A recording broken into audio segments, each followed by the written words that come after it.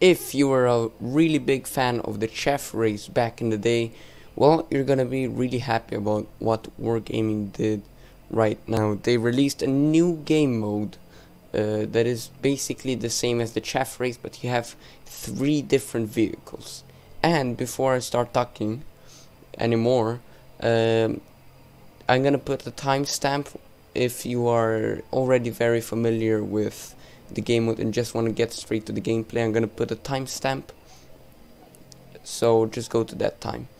Anyways, so you have three different vehicles. It is the T50 Sport, the Leopard Sport, and the Chaffee Sport, and they all have different. Uh, they're all good in their own way. For example, the T50 Sport is the slowest. I mean, slowest at 100 kilometers per hour, but it has uh, very good reload time. It has very good ha uh, handling and very good acceleration. The Leopard, on the other hand, has a really strong this little autoloader, and it's the fastest, but it has really low uh, handling. And the Chaffee is basically an all-rounder. It's got a good gun that reloads a little bit. It's got medium handling and it's got medium top speed out of all the vehicles.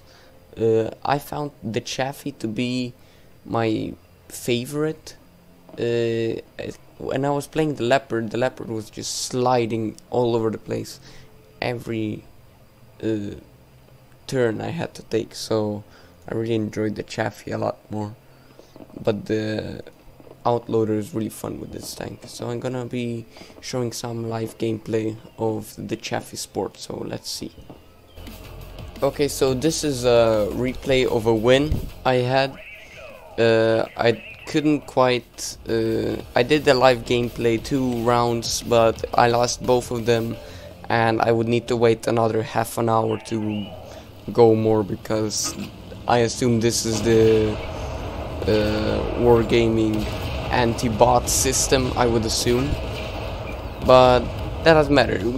I just want to show a win, show an interesting gameplay video.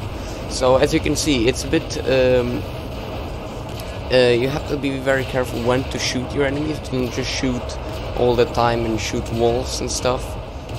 Because what happens is the barrier is too tall to shoot over. So you gotta shoot uh, the barriers that are red right here. So make sure to shoot your enemies when they are uh, at the red barrier. As this leopard is doing and me, so we're kind of sharing uh, fire right now. But me and my teammates seem to be quite ahead.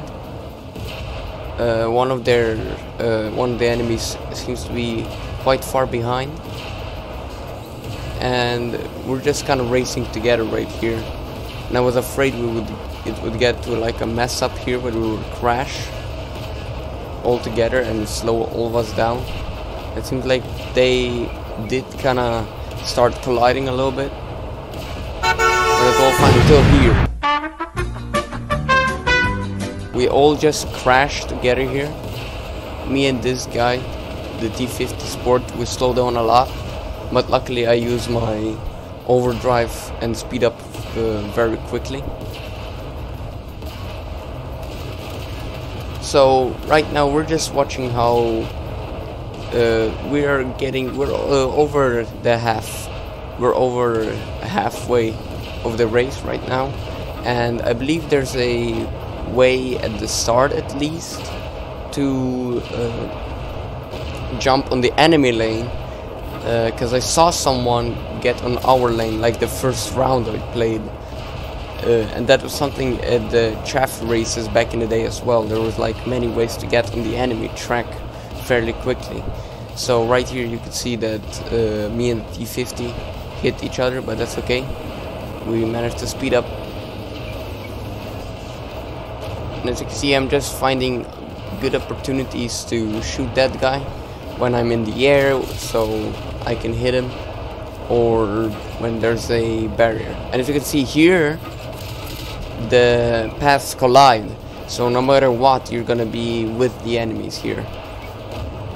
And I was in a bit of a tricky situation because the Leopard Sport is a lot stronger, I feel, than the Chaffee.